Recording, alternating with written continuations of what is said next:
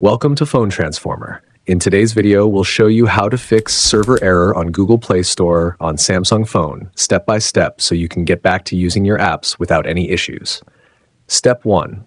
First, unlock your phone and open the Google Chrome app. Make sure you're logged into the correct Google account before moving on. Step 2. Next in Chrome, tap on the search bar at the top and type Down Detector, then press the search icon to begin.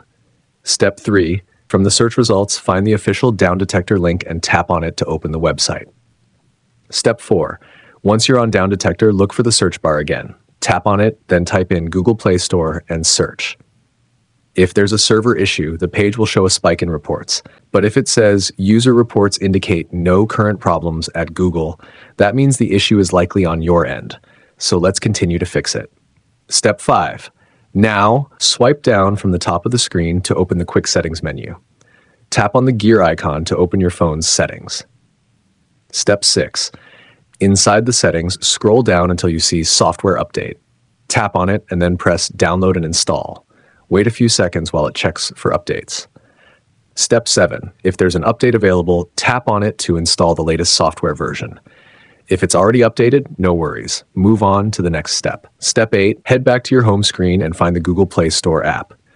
Tap and hold on it until a small menu appears, then select App Info.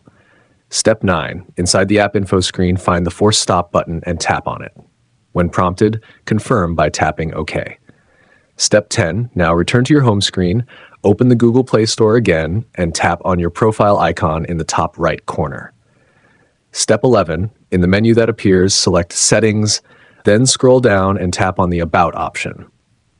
From there, choose Update Play Store. When it finishes, tap on Got It and you have done. Thanks for watching and please subscribe to the channel.